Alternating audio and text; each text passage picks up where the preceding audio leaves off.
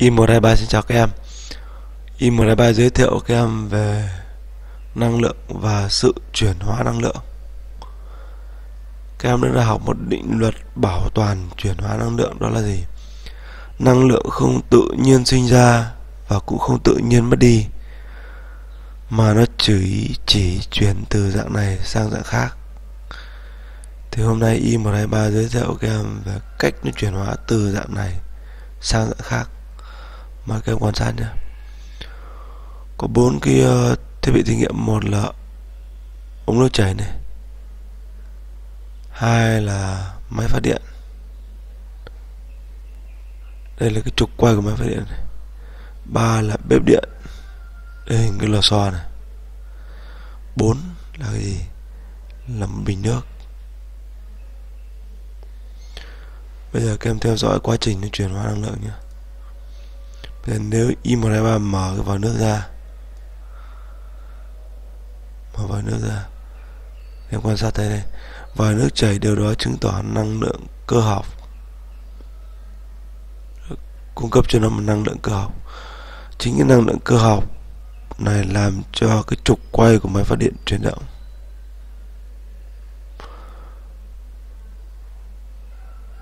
Trục quay của máy phát triển chuyển động máy phát điện chuyển động đã biến đổi. Năng lượng cơ thành năng lượng điện năng.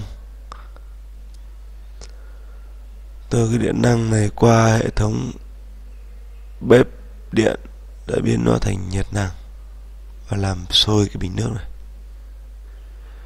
Như vậy IM3 giúp em hiểu được là cơ năng biến thành điện năng và điện năng lại biến thành nhiệt năng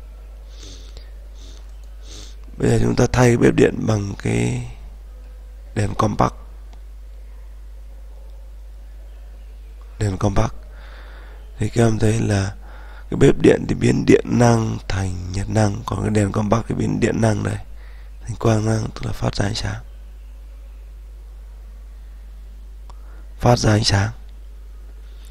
Như vậy cơ năng nó biến thành điện năng và điện năng biến thành quang năng ngoài cái cơ năng do dòng nước chảy này ra, tức là do chính là hệ thống nhà máy thủy điện của chúng ta, thì cơ năng cũng thể do nhiệt điện tạo ra, ví dụ như trường này. Chúng ta sử dụng than, khí để đốt nóng, làm sôi bình nước, tức là nhiệt năng này. Nhiệt năng dùng than để đốt nóng tức là nhiệt năng. Nhiệt năng làm cho cái bình ấm nước này sôi và biến đổi nhiệt năng thành cơ năng này. Biến đổi nhiệt năng thành cơ năng. Và cơ năng làm cho cái trục của máy phát điện quay và nó biến thành điện năng. Và điện năng lại biến thành quang năng thông qua hệ thống bóng đèn compact. Như vậy nhìn vào cái sơ đồ này, ta thấy nhiệt năng biến thành cơ năng cơ năng biến thành điện năng và điện năng lại biến thành quang năng. Một hình thức cơ năng khác, chẳng như chúng ta đạp xe đạp, chính là cái dynamo đấy. Để chính là hệ thống cái đạp xe đạp của dynamo. Khi chúng ta đạp xe đạp thì cơ năng cơ năng được sản sinh ra cơ năng làm cho cái trục của máy phát điện quay rồi biến thành điện năng, và điện năng lại biến thành quang năng.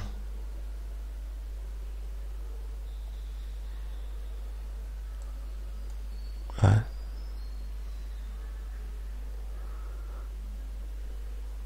giới thiệu các em tiếp một hình thức biến đổi năng lượng khác, đó là quang năng. Em thấy quang năng tức là mặt trời phát sáng này trời, nhiều mây này. Trời, không có mây này. Thì chúng ta phải thay đo vào đó là một tấm hấp thụ năng lượng mặt trời. Tấm hấp thụ năng lượng mặt trời.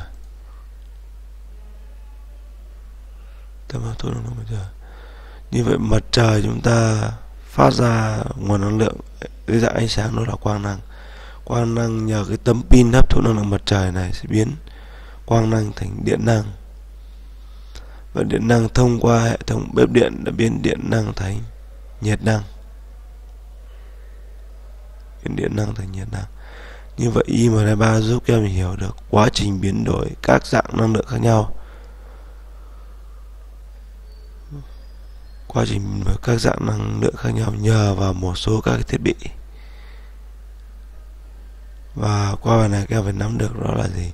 Năng lượng không tự nhiên sinh ra và cũng không tự nhiên mất đi, mà nó chỉ chuyển từ dạng này sang dạng khác. Một lần nữa im 3 xin chào và hẹn gặp lại các em nhé.